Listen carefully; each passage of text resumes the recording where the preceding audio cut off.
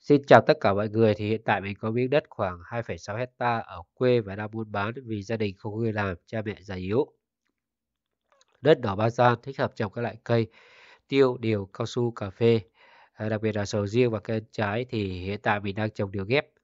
Thì hàng xóm xung quanh họ trồng sầu riêng hết rồi. Thì đất có sổ đỏ bao quanh à, bởi hàng rào thép gai và cột bê tông. Đất cách đường ờ, lớn khoảng 600 mét có thể kéo điện vô nên là thích hợp cho ai mua làm trang trại hoặc để ở cũng được. Đặc biệt là cách trung tâm xã đường 10 huyện Bù Lăng tỉnh Bình Phước khoảng 1,6 km. Rất là gần, nếu ai quan tâm có thể inbox cho mình hoặc liên lạc trực tiếp bằng số điện thoại mình để bên dưới phần mô tả.